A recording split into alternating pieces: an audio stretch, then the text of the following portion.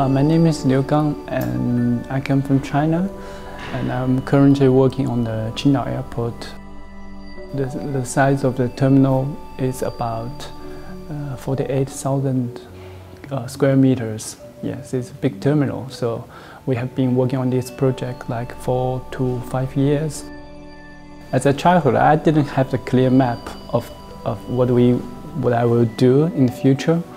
I choose the architecture. It changes me in many ways. So you, you start to understand the architecture about how people behaving and how landscape and architect interact. I think that's, uh, that was fascinating.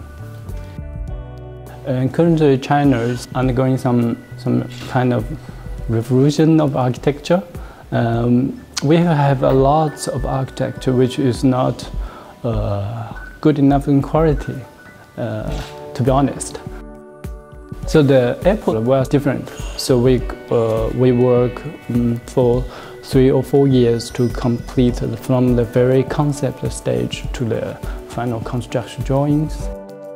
In the very early stage, we finished a shape which is uh, uh, a hole and five piers. So it's like, just like your hand.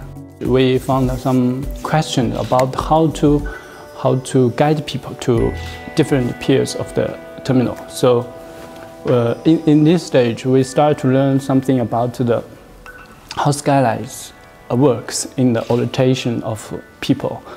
And they will very quickly to find, know, oh, I'm going to right here, pier A or pier B. This can be done maybe by signature or something, but we, we think it's much better to guide them, maybe use the natural light.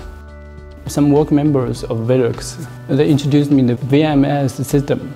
So it's amazing that we, we, we finished the drawing is almost the same as the modular uh, skylight of uh, VMS. We communicate with them about the fire smoke and the ventilation and several many facts of the window system. They helped me finish the, the, the requirements of the window design. So that was uh, very helpful to enter in the building.